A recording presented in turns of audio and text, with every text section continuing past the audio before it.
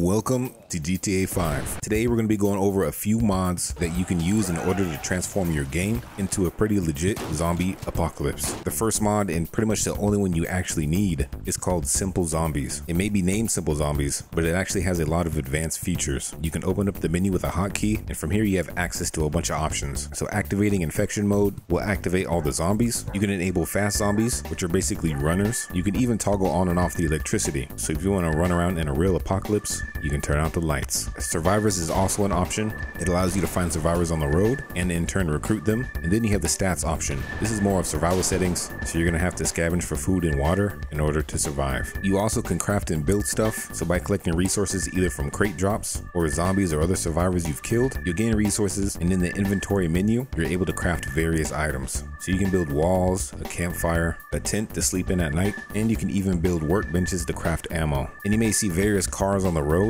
that need to be repaired. You can craft a repair kit from here as well. Now the zombies aren't so simple as well. Zombies are actually attracted to noise, so crafting a suppressor is going to help you out. Otherwise you may have the chance of attracting a horde. So with the system you can craft your own standalone base, recruit survivors, and then have them defend that base. A very in-depth overhaul, and you really need to dive in yourself to really see what it can do. Next up is the add-on for Simple Zombies, and this just changes the sound effects. So you hear various sound effects from Dead Island, Dying Light, Left 4 Dead, all in this sound pack. Next we've added Simple Fuel, so you'll be required to refill your vehicle. You can do this by going into a gas station and filling your car up, or you can even use a jerry can and fill it up that way as well. And when you do come close to running out of gas, you'll see it pop up on your map so you can easily navigate to the next gas station. Next up we have car inventory. So with this mod you can open up your trunk and store your weapons. Then you can drive around and gather more items and store even more in your trunk. I don't believe the items save in your trunk if you leave the car from a far distance, so make sure you take from the trunk what you need. Next up we have the stance mod, and this allows you to crouch and go into the prone position. So you're able to lay on your stomach while aiming your weapon, and you can even aim in 360 degrees. So as you circle around, your character will change body positions. Pretty cool and unique way to sneak around. Next we have something called a long winter, and from this mod we're only using the world enhancer, and what this does is add these rundown cars into the world. So the worlds won't be free of debris, you actually get a sense that the world has ended.